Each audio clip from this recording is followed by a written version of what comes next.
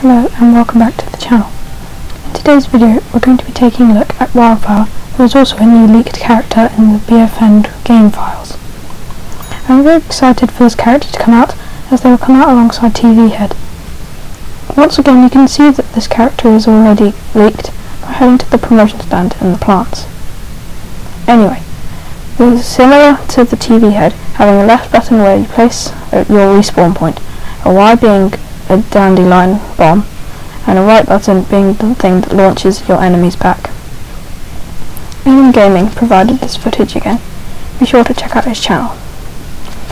Anyway, Wildflower is looking very cool, and I have done some more research so that when they stand next to their near their pots or minions, they will get extra health.